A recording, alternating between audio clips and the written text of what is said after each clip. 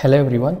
In this video, the demodulation of the amplitude modulated signal is explained.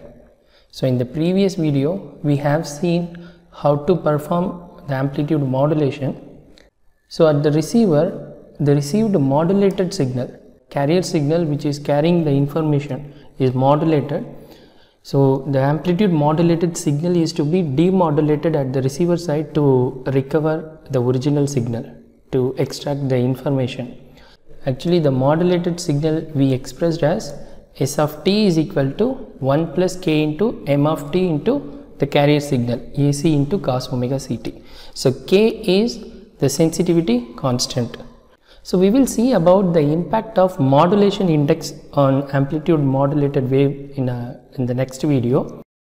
So here now the amplitude modulated wave is S of t that is transmitted over the channel and received at the receiver. So in synchronized uh, receiver of amplitude modulation, the received signal S of t is actually uh, multiplied. There is a product modulator we use uh, that is multiplied with locally generated uh, signal and the properties of the signal is actually uh, similar to the carrier signal.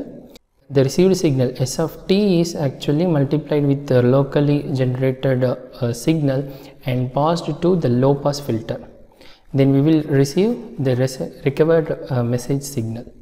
So we can do it in both uh, time domain and uh, or the frequency domain. So in this I am going to explain how to do it in frequency domain.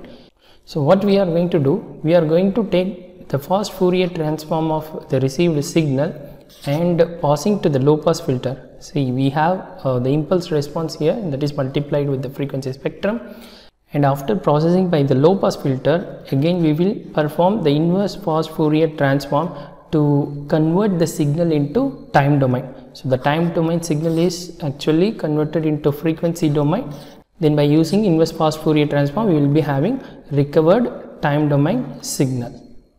So let's see how to perform this. So this is the waveform uh, shown here actually the first figure is of uh, the amplitude modulated wave with the noise. And uh, it is multiplied with uh, the locally generated carrier signal. And this the second picture is the frequency spectrum um, the fast Fourier transform of the demodulated signal. And the figure 3 is the impulse response and it is multiplied. Figure 2 and 3 are multiplied. Then we get the figure 4 so the figure 4 is in frequency domain and by taking the inverse fast Fourier transform of figure 4 we will get the time domain that is recovered uh, message signal at the end. So let us see how to write this coding. So this amplitude modulation program we have seen in the previous video. So that this is the expression of uh, the command of the amplitude modulator wave.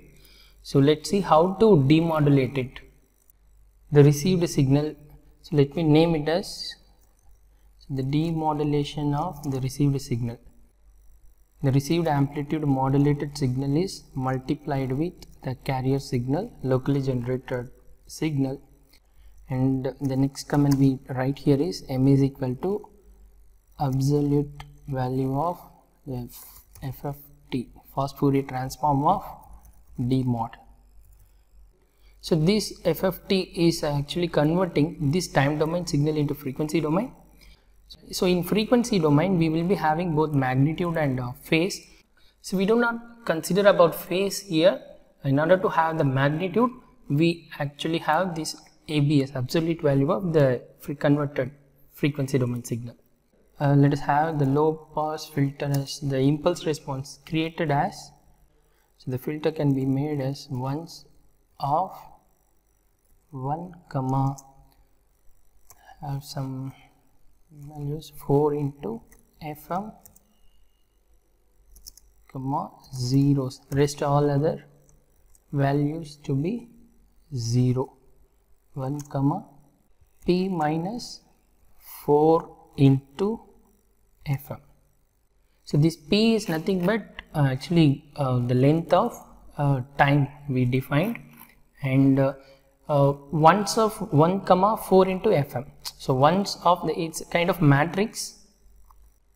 For example so let me clear it out.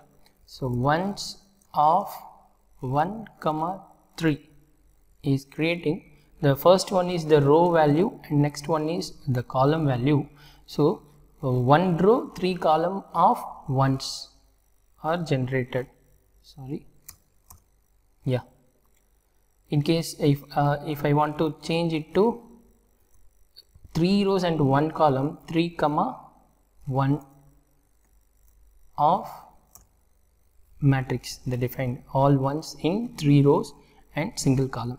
So if we put zeros then we will be having for example 1 comma 4 so one row four column of zeros like this we actually define the filter uh, the impulse response here.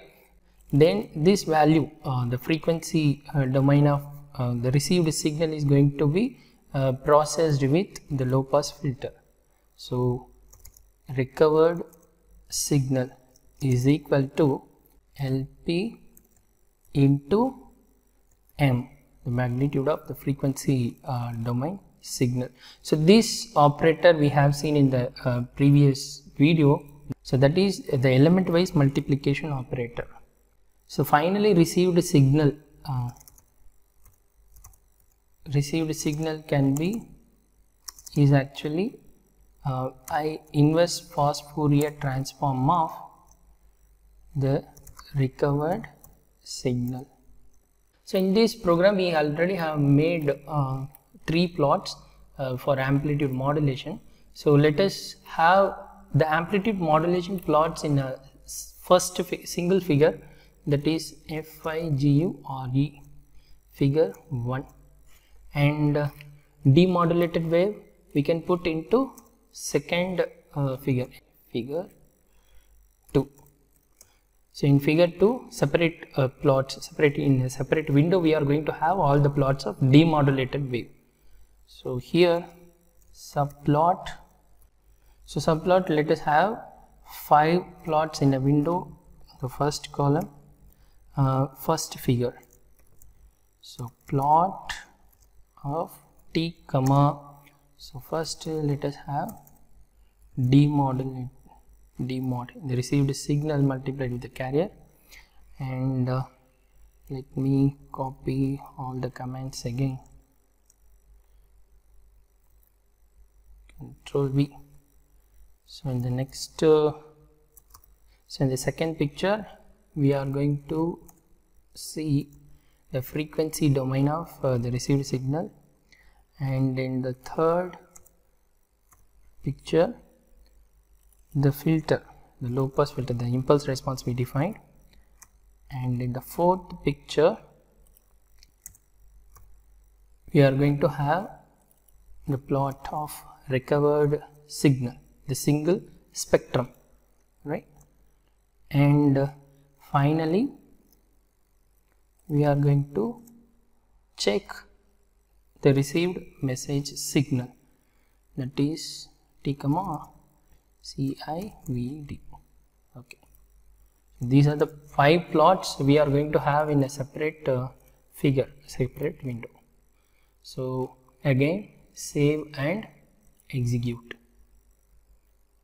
So go to command window and the message signal let us give 2 and the carrier amplitude is 4 so this is the message signal and the carrier signal then amplitude modulated wave and in another window we are having the received amplitude modulated wave with the noise that is actually multiplied with the locally generated uh, carrier signal and its uh, frequency spectrum. In frequency domain then it is picture 2 and 3 are multiplied. The 3 are uh, the impulse response the filter processed with the filter.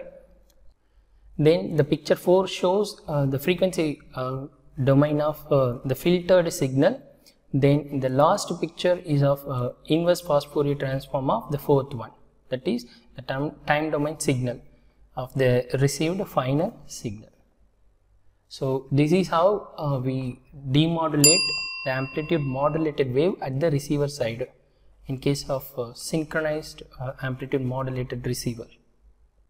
So I hope uh, this video is helpful to understand how to perform amplitude modulation and amplitude demodulation on Scilab platform and in the next video uh, we will see uh, the impact of a modulation index on amplitude modulation. Thank you.